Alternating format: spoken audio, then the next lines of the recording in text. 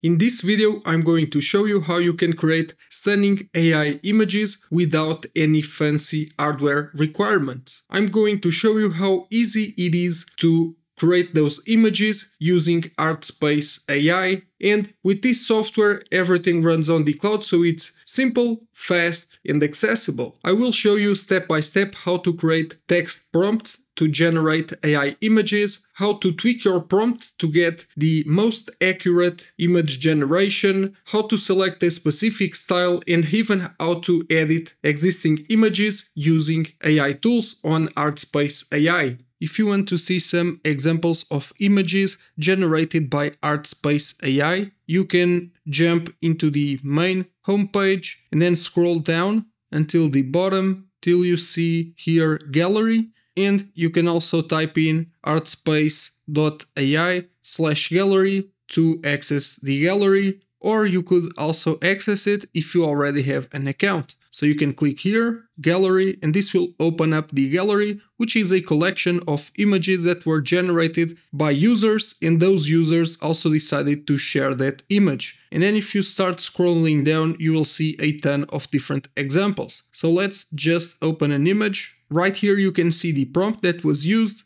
the user who shared this exact image, and you can also see some settings that were used for the image generation, such as the model, which in this case is Nova 2024 Flux. You can also see the seed, dimension, and the negative prompt used, which were blurry, watermark, text, and logo. So things not to include on that image. So let's say you want to create a similar image to this one, then you can click on copy to copy the prompt, click on continue drawing. So this will show you the main dashboard, whether you are using the expert interface or simple interface. You can then go here into the prompt space and then paste in that prompt. If you want to include the other details that were on that image, you can go into the expert interface and then you can include here the negative prompt or copy paste them. You can also put here the seed number and so on.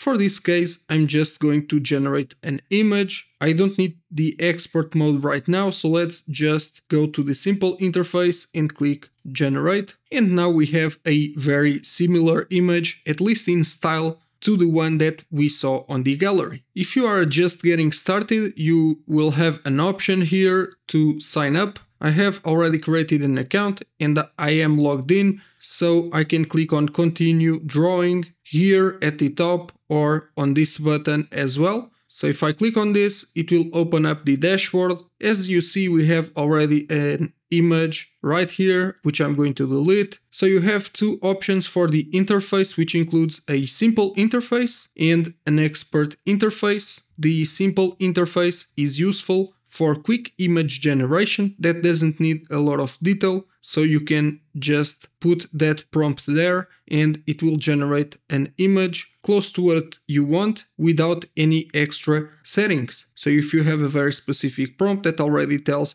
what colors you want to use, what style and so on, you will be fine with this simple interface. But then for more personalized images, you should use the expert interface because this will allow you to control every single setting and detail for the image generation process. So with the expert interface, you can control the seed number, the seed image, use negative prompt, and these options will change based on the model, and you have a couple of other options at the top Otherwise, all of the options on the left bar menu will remain the same, as well as the prompt bar right here at the bottom. And we are now going to take a look at the options at the left bar. So here you have art space. so this will take you to the home page. Then you have the gallery, and this will allow you to access the gallery that I have just shown you previously with a couple of examples of users and what prompts they have used to generate their images. So if you need inspiration, you should check out the gallery. Then you have the get started button and this will show you all resources from ArtSpace AI and posts to help you generate better AI images and every single detail about using the software. So you have here editing techniques to edit your images with AI, you have advanced editing and optimization, drawing, visual text, ends and more, creatives, marketing and monetization, and here some comparisons with other AI tools. Then here we have a button to access the blog, and this will have plenty of articles and posts about generating AI images and the software as well. Then you have membership. This is where you can manage your subscription, licenses, you can see how many images you have generated per month if your license does have a limit and you can also generate an API key to integrate ArtSpace AI with CopySpace AI or other software. So you can then make calls to that API to generate images. You also have a community button here and this will open the private Facebook group where you can get some ideas for image generation and some more content regarding ArtSpace AI. Then lastly, you have here the affiliate program. In this page, you can click on become an affiliate and then you can join the affiliate program. So if you enjoy and like the software, whether that's ArtSpace AI or CopySpace AI, you can record a video, write a blog post or create content on social media and then include your affiliate link and make some commissions. The simple interface is the easiest way to generate AI images because it only requires a prompt and then you select a format and you click on the blue button to generate an image. So you can insert a prompt right here where it says what would you like to draw. I've just grabbed a quick example from the gallery again to generate a different image. So let's go with this one which is quite long and specific. And then if I click on here, I have two main formats or aspect ratios, which is 1 by 1 and 16 by 9 with preset resolutions. On the previous image we used 16 by 9 so let's now just try the 1 by 1. Now here we have the generated image, you can click on this button here with the cloud to download and save the image to any folder on your device or you can click here on the cross to remove that image. Now we will take a look at the expert interface so here you have two additional menus, one at the top which is this toolbar that gives you access to some quick options like downloading images, deleting elements and so on. And then you also have a settings bar at the right, which has some options for generating images like negative prompt, seed number, and so on, and those will change depending on the selected model. Right at the center of the screen you can see this space here, which is called a Canva, and this is where you will be generating images and then managing what you've just generated. You can drag those around with a left mouse click, or you can navigate through the Canva using the middle button or the scroll wheel. And of course you can also use those same exact tools by using the toolbar at the top, which we are going to cover later on. You also have this box right here with a white border and when you generate an image this will be filled but this is called a white box and this is the space that will be filled with your AI image. So if you want to control the sizes and all of that stuff, you can use that white box. So you click here on the resolution, which currently is 1200 by 800 and then here you can change the resolution of your white box and therefore your image. So you have default, full HD, ultra wide, portrait HD, 4K, max, and you have the custom options to set the image with the size that you want. Another way to adjust the size is to click here and then you will see these dots. You click on one of those and then you can also increase the size that way as well. If the aspect ratio of this white box is not compatible with image generation, then instead of the white border, you will see a red border. I just generated a new image to show you how the toolbar works. So right here you have an undo and redo option so that you won't lose any of your changes. If at any time you add something that you don't want to, you click on undo and that will undo that change on your images or canvas. We also have here the history button which also lets you go through all of the changes, but you can see exactly what type of images I have generated previously and then you can go here, click on recover and as you can see the previous image will load up or at least the prompt so then you can use that prompt to generate an image. You can also delete the images that you don't need anymore. by clicking on delete and you can also see all of the other data.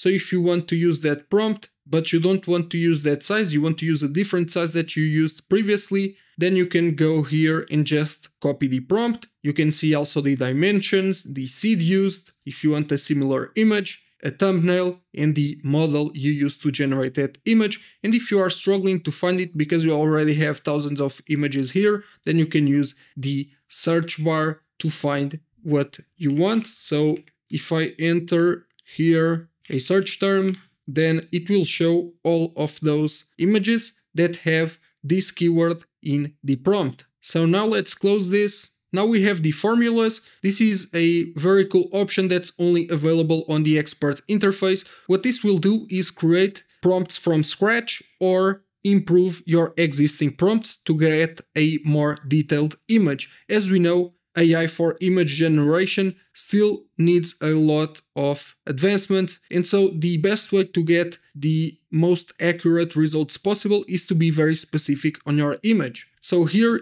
you can go and put here a subject, so it can be a person, a symbol, an animal, and then you can select from a bunch of different styles. So here we have diesel punk, fractal, ancient art, so let's select a few of these. So let's put in here ancient art and medieval art. Then you can also select some artists and what this will do is take existing art from those artists and use similar elements or styles on your image generation. So you have here a huge list of artists that you can choose from. So here is Van Gogh, Banksy. You then also have formats. Currently we have illustration, comic book art, and you have a lot of different options here. So you can even generate images to be used on products. For example, if you click on book cover, you'll get a book cover. You could even generate advertising posters, album art covers, and there's really a lot of options here. So let's go with illustration and comic book art. You then have the boosters. So you have options like vivid, rendering 4K, and this can actually impact the quality of the image. That's why it is called a booster. Then you also have vibes, so this will affect the colors, the background and all of that stuff. And you have plenty of options like fantasy, futuristic, awesome, blur, bold, brash, bright, character, and so on. And then there's perspectives, and this will affect the way that the image is generated. So you can make it look like a realistic photograph taken with a macro or something else. So you have, for example, an aerial view. Let's try that one. Now here you have the preview. So if you click on Inspire, it will refresh the prompt and actually use other options. Now you can click on Close to close this window. You can clear everything if you want to generate an entirely different image, or you can click Apply if you click apply, then you will see the prompt we just generated using the formulas right here at the bottom. And now we can click on the blue button to generate an image using that formula. So the formulas are actually very helpful to generate unique images that still have a lot of detail.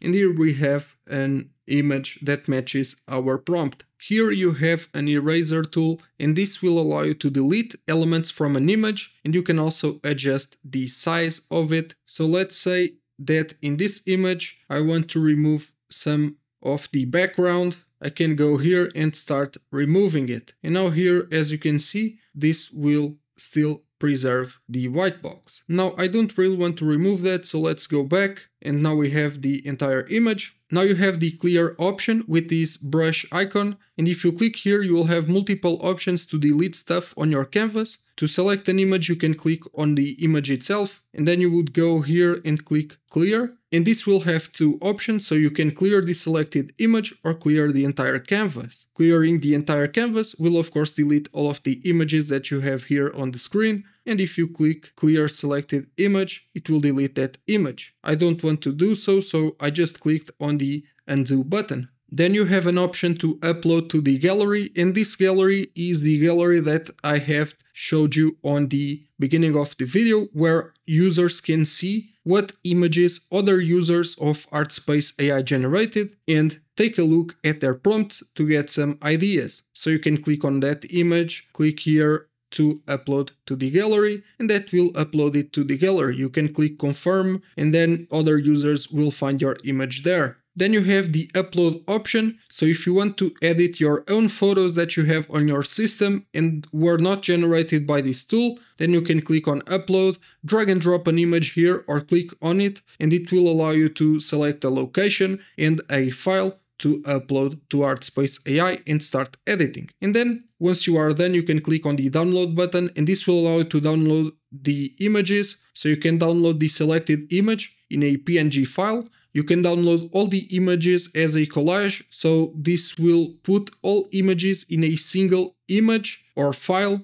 and then you have download all images individually. So if you want access to each one of the images for different stuff, then you would use this option, download the zip file, and then unzip it to get access to all the individual images, which will be very useful if you have generated, let's say, 10 to 20 images or more. Now let's hit close. In the toolbar, if you go to the right corner, you can zoom in, zoom out and move your images or canvas. So first here, if you zoom in or out, which you can also do with the scroll wheel in your mouse, this percentage here will change so that you know how much you've zoomed in and you can use these buttons to zoom out or zoom in as well if you prefer it that way. You can also zoom the art box, so this will zoom in into your selected art box, also known as the white box. And then if you want to see all of the images you've generated on your canvas, then you can click on zoom fit and this will show you a view or overview of everything. So if you have a lot of images, those will appear very small. You can also use this move button to move across the canvas or